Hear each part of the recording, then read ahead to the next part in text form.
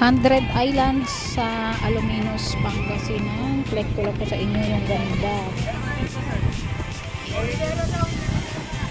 Sige, sige, sige.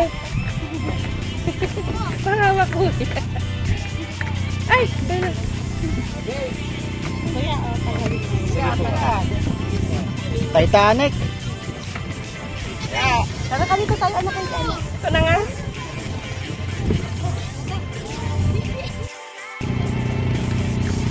Dito tayo ngayon guys sa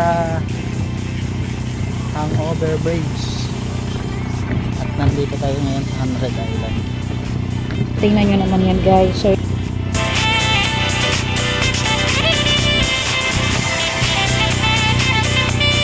Mm, So maganda nga yung dagat, maganda yung panahon, buti na lang hindi maulan. Tingnan niyo naman yung dagat, oh. Napaka ano, napakatahimik, hindi siya maalon, hindi rin high tide. Maganda rin siya, 'di ba? Alam nyo kasi kung bakit tinawag tong Hangover Bridge. Kasi ito yung daanan na lasing.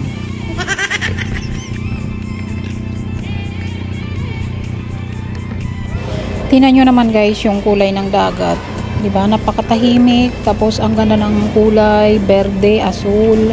Berde yung paligid, tapos asul yung tubig. Tingnan nyo naman, ang ganda. Kita nyo. Lasing nga. Kaya ang overbridge. Kasi nakakala dun siya daanan eh. Sumasayaw-sayaw.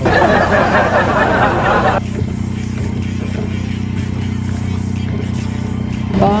So, unang adventure to na sa year 2024 talagang ano to, um, ah, January 2. Ito.